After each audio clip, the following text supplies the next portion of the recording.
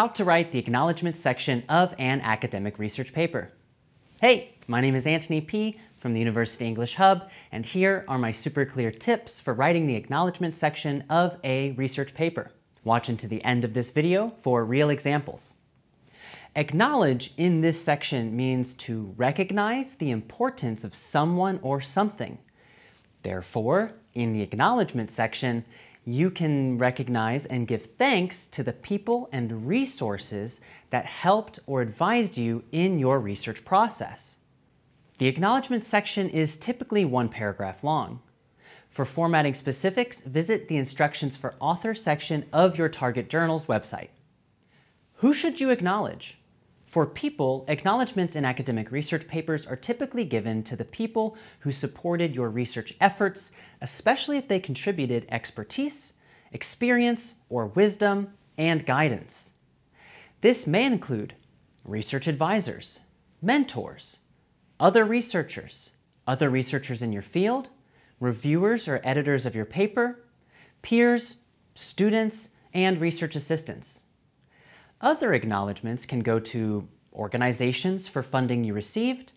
Some funding agencies may have specific instructions about how their funding should be mentioned, so be sure to check. Organizations and institutes that handle data management, that ran the study, or played other major roles. Non governmental organizations or governmental organizations that aided in the approval of your research, organizations or people who helped uh, with the writing or language in your paper. I recommend that you get approval from people to include them in the acknowledgement section.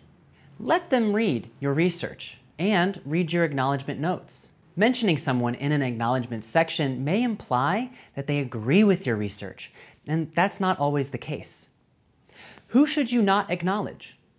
Normally, you don't mention your parents, family, or friends in research paper acknowledgments, unless there's a special reason to do so. People who do their job as a part of their work, like lab technicians or field assistants, are usually not mentioned in acknowledgments. Heads of departments or lab directors do not need to be thanked in this section. You may mention any of these people if they did something extra special to help you. What should you not write in the acknowledgement section? Avoid flowery language such as eternally grateful, or a huge thanks, or I'm indebted to, or the researchers couldn't have done it without. Keep your English simple and straightforward. Now, let's do a weak example, then a strong example. Here is a weak acknowledgments example. I want to give a huge thanks to my parents for supporting my education. I couldn't have done it without your love and support. My friends also played a huge role in managing my stress. A special thank you to the lab assistants for scheduling interviews. I am eternally grateful to the head of my department, Dr. Smith. Lastly, a shout out to the movie Alien for sparking my creativity. In this weak example, we can see unacceptable flowery language such as huge thanks, I couldn't have done it without, a special thank you, eternally grateful, and a shout out to. In this weak example, we can see that the author is thanking individuals that are not appropriate. Family and friends should not be thanked. Staff, such as lab assistants that are performing normal job functions, do not need to be thanked. Heads of departments, and directors also do not need to be thanked. Lastly, a shout out was given to a science fiction movie. This is also unacceptable. Personal inspirations are not needed in academic research papers. Now, here is a strong acknowledgement section example. Use sentence structures like these in your research paper. The authors thank Dr. Smith for advice on experimental design and subject recruitment strategies.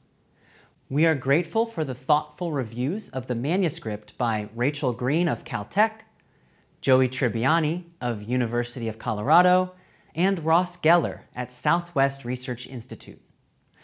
We thank the National Science Council for financial support for fieldwork. This study was supported by a grant from the Department of Health. The Center for Survey Research of Academia Sinica was responsible for data management. Figure 15 was produced using stereo software developed by Chandler Bing. Now you know how to write the acknowledgement section of an academic research paper. If you have any questions, you can write them below the like button. I will read it and reply. Again, my name is Antony P. from the University English Hub, and I'll see you in another video. Bye!